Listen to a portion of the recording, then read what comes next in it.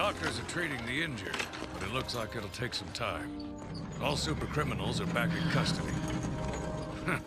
Quite a mess in there.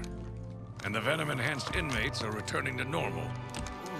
Though for some, the process can be quite painful. Dad, how are you doing? I'll survive. See you tonight, Barbara.